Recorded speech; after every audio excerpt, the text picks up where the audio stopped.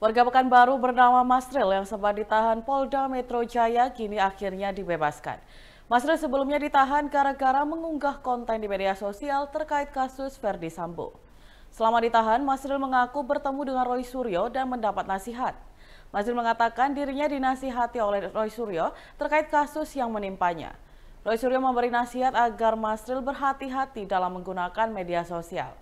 Seperti diketahui, Roy Suryo juga menjadi tahanan Polda Metro Jaya atas unggahan meme stupa candi yang diedit mirip Presiden Joko Widodo. Adapun saat ini Masril telah pulang ke kampung halamannya di Pekanbaru Riau. Polda Metro Jaya membebaskan Masril pada Jumat 26 Agustus 2022 lalu melalui restoratif justice. Penyelesaian perkara secara damai ini merupakan arahan langsung dari Kapolda Metro Jaya, Irjen Fadil Imran. Dikutip dari Tribun Pekanbaru.com, Masril sebelumnya telah ditahan sejak 31 Juli lalu. Ia ditangkap gara-gara mengunggah konten di media sosial terkait Verdi Sambo. Dalam konten itu, Masril memberi judul orang-orang pilihan Verdi Sambo dan mencantumkan tagar berantas judi online.